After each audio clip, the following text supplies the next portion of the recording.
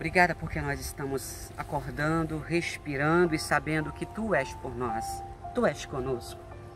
Liberta-nos essa manhã de todos os laços inflamáveis e dardos do nosso adversário. Blinda-nos, Senhor. Justifica-nos, Senhor. Esconda-nos, Senhor. Unge a nossa cabeça com óleo. Faz o nosso cálice transbordar. Segura em nossas mãos. Nos protege. Esconde, Senhor, o teu povo à sombra das tuas asas. E que tudo que nós façamos seja para a glória do teu nome.